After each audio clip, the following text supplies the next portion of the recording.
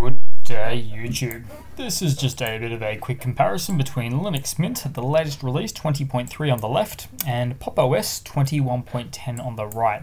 So first of all, it's good to say that uh, Linux Mint is actually uh, running on the default Cinnamon desktop environment, the in-house built desktop environment, whereas Pop! OS on the right-hand side is actually running on its uh, GNOME uh, desktop environment, also the default desktop environment for that one. Now they are actually both based on Ubuntu, uh, true story, but Linux Mint is actually based on the long-term service release, so sometimes a bit of an older kernel, as you can see there, whereas Pop! OS is running on the latest point release of Ubuntu. And so you can see a much later and greater kernel there. But having a look at the, uh, say, the desktop environment itself, so they are actually quite apples to oranges here. We've got our start menu on the left-hand side here. We've got our app launcher. In a way similar so you've got your uh, start menu or work workplaces and applications menu to open up things here. They've really updated it so I, I really do like the look and feel of the later version of GNOME GNOME 41 approximately here. Now uh, it's got the nice uh, application launcher on the bottom there as well so that's nice to see.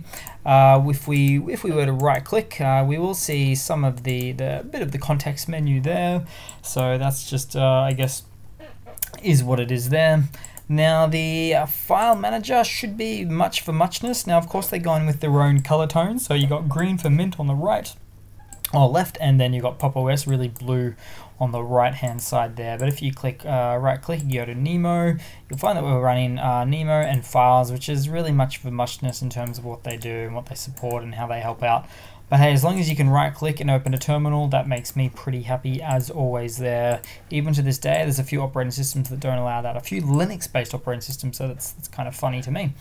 Uh, now, as I was mentioning before, the kernel is uh, much later and greater, so keep that in mind if you've got later hardware, uh, CPUs, GPUs, Wi-Fi cards, all of the above and more.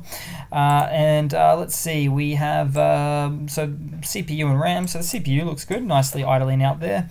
The RAM, uh, using about 650 megabytes of RAM on boot up for Linux Mint, whereas on the Pop! OS 21.10 side, we have about 900 uh, megabytes of RAM, so a good 300 meg more, but that is to me to be expected. GNOME, uh, the GNOME desktop environment is sometimes known to be a bit more heavyweight.